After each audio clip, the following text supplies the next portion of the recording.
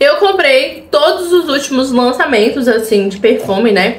Da Oi Pink pra poder testar aqui junto com vocês. Eu vinha relutando bastante, mas agora eu comprei e vamos falar tudo sobre eles.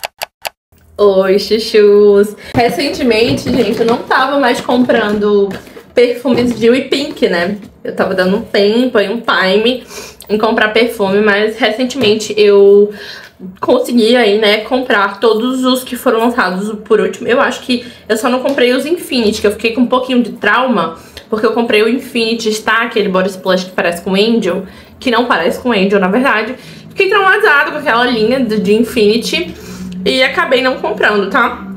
Os que eu comprei aqui foi pra gente conversar, porque alguns vocês me pediram pra poder testar e outros eu comprei por curiosidade. Vamos começar por esse daqui, que é o Fusion. Fusion.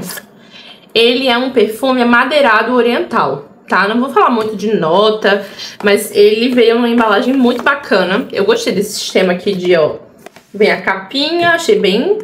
Tipo, eu tava até comentando em outro vídeo que a Oi Pink, ela tá dando uma valorizada aí, né? Nos, uma melhorada aí nos produtos. Esse daqui é o frasco dele. Gente, confesso, eu achei esquisito, tá? É uma, ó, ele é meio, tá vendo? Curvado. Eu achei estranho.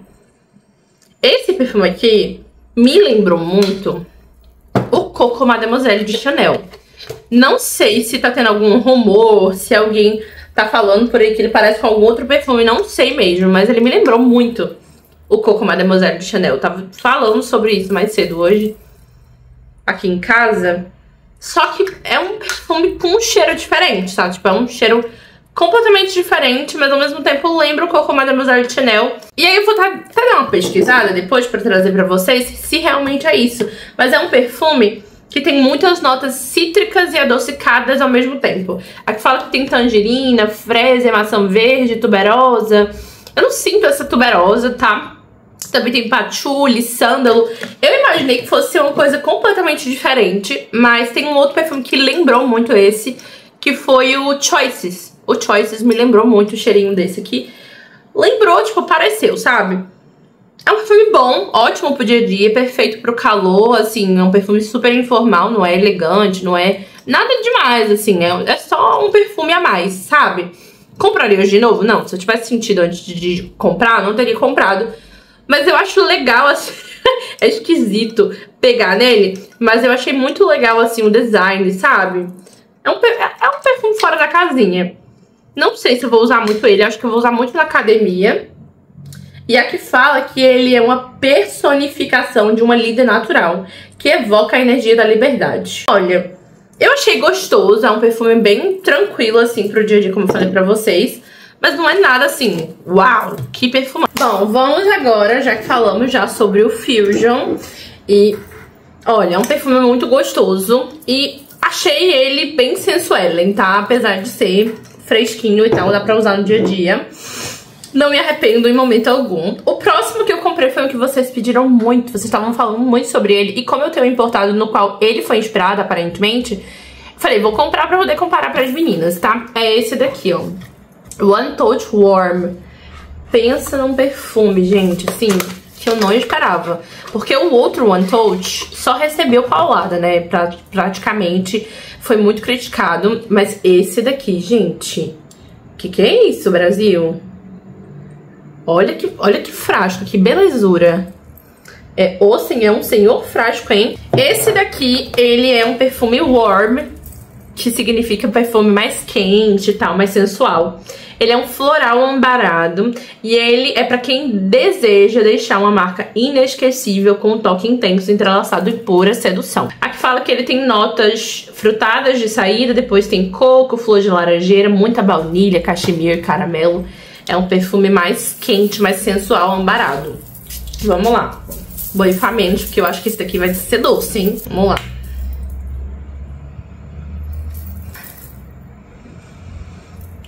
Nossa, gente. Que delícia de perfume. Ele é bem docinho mesmo, mas não é um doce que chega a ser enjoativo, não, jamais. E ele me lembrou muito um perfume que não é o no qual ele foi inspirado. Vocês, né, muita gente tá falando que ele foi inspirado nesse perfume, eu vou pegar pra vocês verem. Muitos de vocês falam que ele parece muito, né, muita gente tava falando que ele parece muito com esse Scandal aqui, que é o Le Parfum. E olha, gente, comparar aqui agora ao vivo pra vocês verem. Olha, são cheirinhos que se assemelham sim, tá? Só que eu acho que o Untouched Warm, ele é mais... Ele é mais sutil, sabe? Ele é mais... Ele é mais sutil mesmo. Esse daqui, ele é bem mais doce, assim, bem mais bombinha. Mas são perfumes que se parecem muito. E um outro que ele lembra, bem de longe mesmo, mas ele lembra, é o Olympea Solar, tá?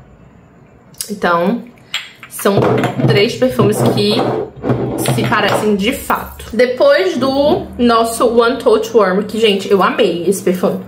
Muito bom, muito bom mesmo. No... Ele abre assim bem fresquinho, bem amentolado, depois ele vai ficando bem caramelado. Perfumão, esse aqui, perfumão, tá? Eu também comprei um que vocês falaram muito, muito assim nas redes sociais, tá, e ele ficou esgotado por bastante tempo. Acredito que agora, nesse momento que eu tô gravando o vídeo, ele tá esgotado. VF Bloom. Esse querido aqui. É, acho que foi um dos únicos VF que eu quis, de fato, assim, sair correndo pra comprar. Não achei a embalagem nada demais, tá? Não achei. Achei uma embalagem simples, não, não vi nada demais dessa fragrância. Mas ele é um perfume floral frutado. Possui bergamota, coco, pêssego e toranja, jasmim rosa neroli, lírio do vale, musk, que é a almística, baunilha, âmbar e patchouli. E é um perfume que dizem que lembra muito um importado caríssimo. Eu vou borrifar ele desse lado aqui, porque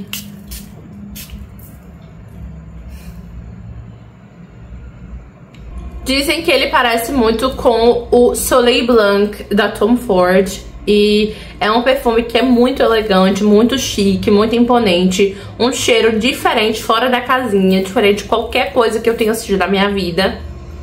E de fato ele lembra, só que ele é 10 vezes mais suave, mais sutil. É um perfume que, gente, ó...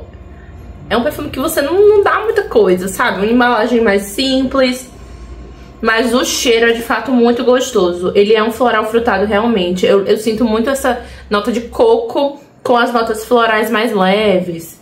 Bastante, bastante almíscar tem aqui, tá? Apesar de ter notas mais pesadas e adocicadas de fundo, ele não é um perfume super doce. É um perfume extremamente... Nossa, que delícia, gente. Confortável. A beça. Muito confortável mesmo pro dia a dia, mesmo parecendo com o perfume Soleil Blanc, que não é um perfume tão fraquinho assim. Esse aqui é uma versão mais confortável e mais acessível. E por último, mas não menos importante, eu também comprei o querido Red, é, Red, Red Mirage, eu ia falar Red Temptation. Red Mirage, que é lançamento aí, ó, da querida We Pink, o, no, o nosso flanker desse daqui que é o Red tradicional. E dizem que ele é inspirado num perfume que tá em falta aí no mercado, hein, gente? Fiz resenha pra vocês, vou soltar em breve, mas olha, perfumão. Achei lindo o líquido, assim, com os brilhinhos. Esses foram os perfumes nos quais eu investi, tá? Esse daqui me surpreendeu, porque eu achei que eu não fosse gostar tanto, me surpreendeu até. Os outros aí, essa é a minha opinião acerca deles. Se quiser uma resenha mais completa, pode deixar aqui nos comentários que eu trago. Um beijo, não esquece de me seguir nas redes sociais e também não esquece de se inscrever se for novo por aqui, hein? Fico agradecida. Até o próximo vídeo!